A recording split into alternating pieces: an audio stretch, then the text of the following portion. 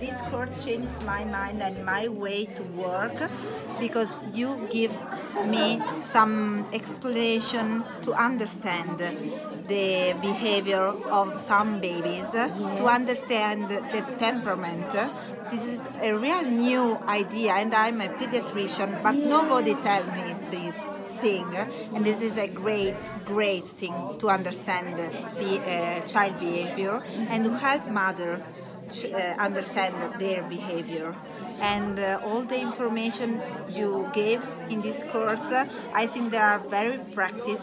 We can use them in our work. So thank you very much. Grazie. Ah, prego.